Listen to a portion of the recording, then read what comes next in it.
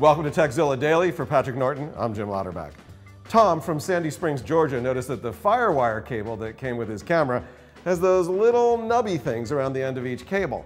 But the longer cable he bought to reach his computer from the docking station doesn't have them. So what's the deal here? Are those ferrite filters actually useful or are they just there for adornment? Well, as it turns out, the ferrite beads, also known as ferrite cores or rings or EMI filters, do have a purpose. They're passive components. They suppress high frequency noise in circuits. They basically act as a resistor and they dissipate the high frequency energy, this heat, though they're never really going to heat up that much, so you probably won't feel it warm up. Now, you probably don't need them. I've moved around thousands of hours of video and I've never used a cable with a ferrite bead. And remember, there's one other reason why those are there. It's because the FCC often mandates them so that the equipment can get its Class B certification. It's put there basically because they're afraid that it's going to interfere with uh, your microwave or something. You really don't need them. The AAR high frequency noise doesn't really matter.